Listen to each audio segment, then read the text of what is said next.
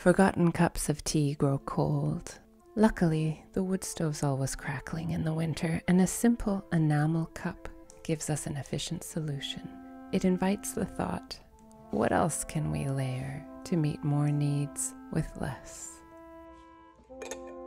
We can reheat the nettle infusion, we can warm up the noodle soup, we can boil a kettle for the washing up, all while we're waiting for a revived cup of piping hot tea.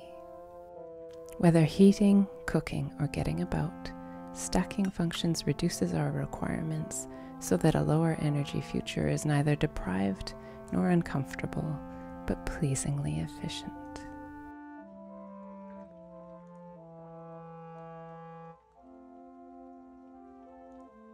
Watch my tiny film, Wood Stove, for more ideas about stacking functions.